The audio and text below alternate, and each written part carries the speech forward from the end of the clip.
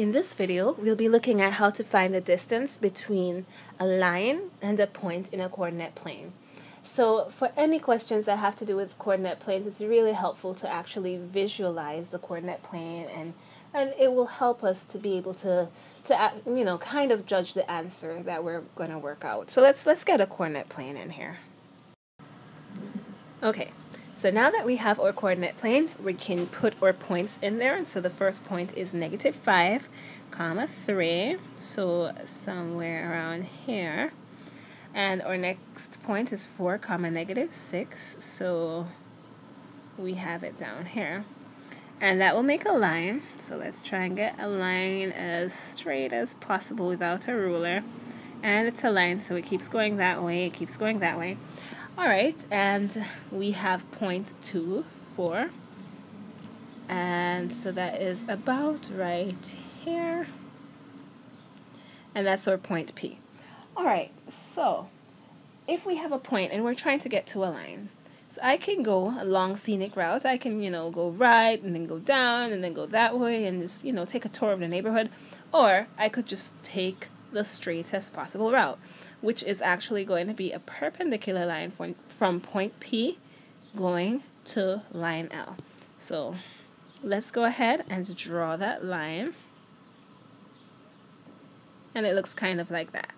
So it doesn't tell us exactly where they meet, but it gives us approximate gives us an approximate idea. All right, so that doesn't tell us the distance either, and we definitely need the distance. So how are we going to go about finding the distance?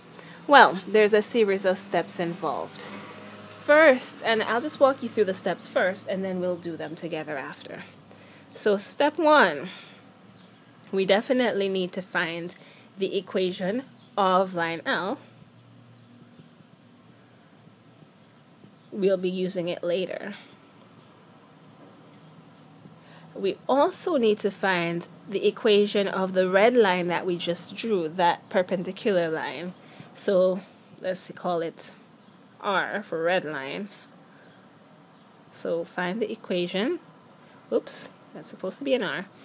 So find the equation of R. The third step, we need to find that point. Why do we need to find that point? Let's call that point something. Let's call it O. Why would we need to find point O though? Well, we need to find point O because if we find point O, then we can find the distance between O and P, which is our last step. So let's write that down and then let's just jump right in.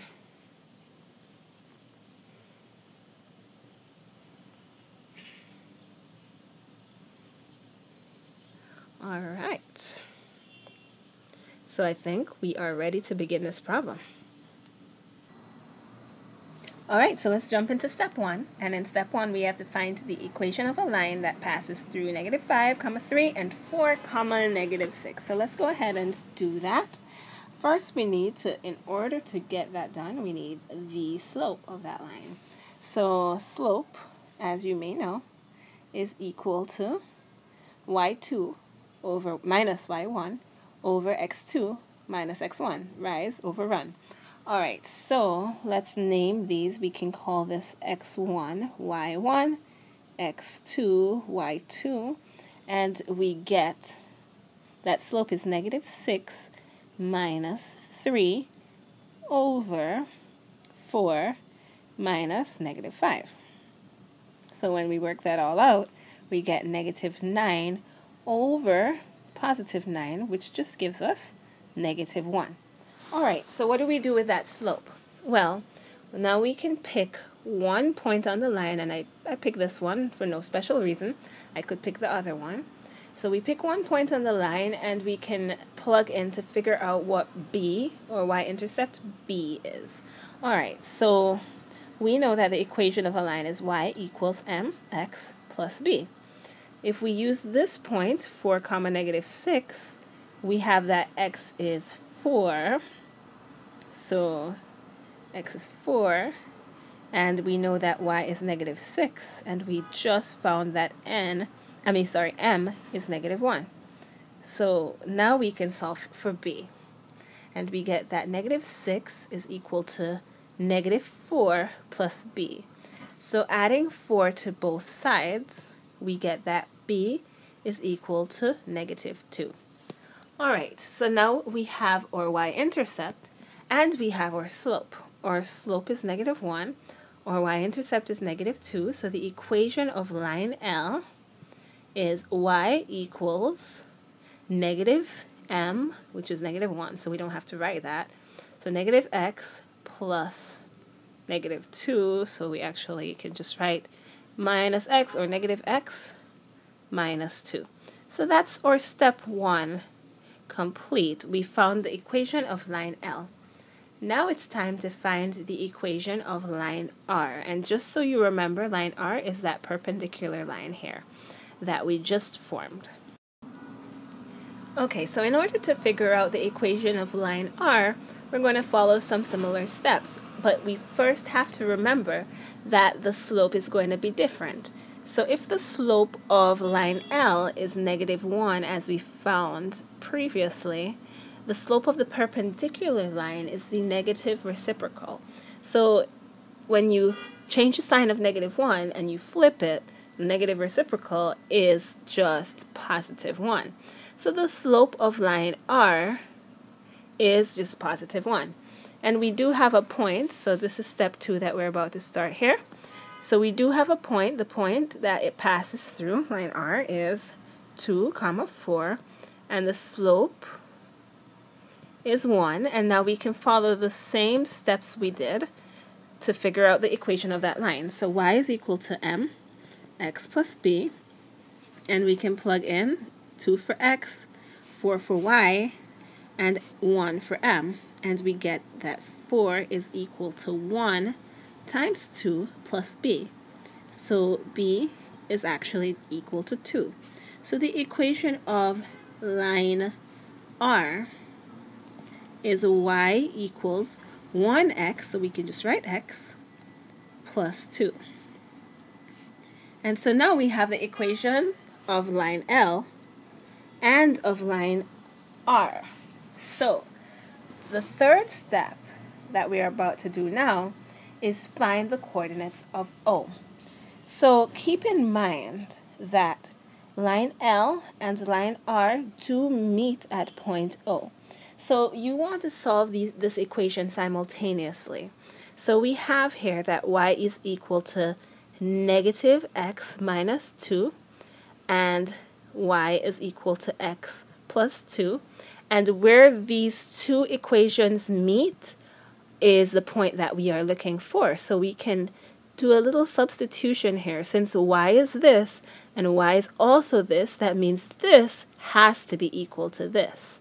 So we can now just write that negative x minus 2 is equal to x plus 2. So solving this, we can subtract 2 from both sides, and we get that negative x minus 4 is equal to x.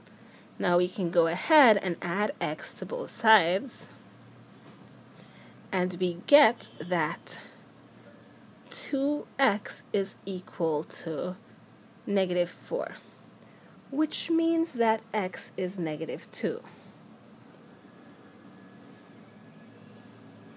All right, so we now know the x-coordinate, and it seems our graph wasn't that great because it's a little off here. If you take a look, it doesn't look like negative 2, but it's close.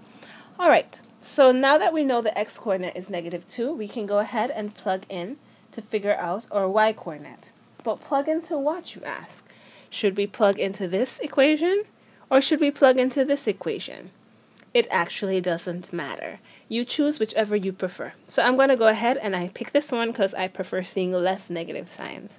So we know that the relationship between, so I'm filling up this page here, but we know that the relationship between x and y is that y is equal to x plus 2. I just got it from that equation.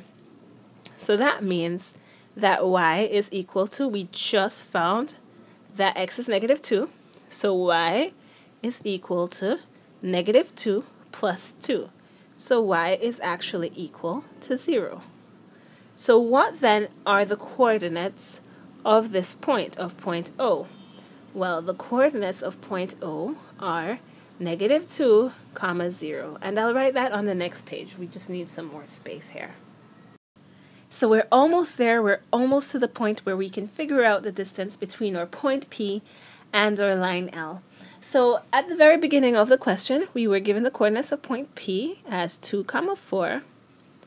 And it took us a lot of work, but we finally figured out that the coordinates of O are negative 2 comma 0. And now that we have two points, all we have to do is use the distance formula or the Pythagorean theorem to figure out the distance between these two points. So we know that d, according to the distance formula, d is equal to x2 minus x1 squared plus y2 minus y1 squared. All right, and so we can number these points, number and name these points.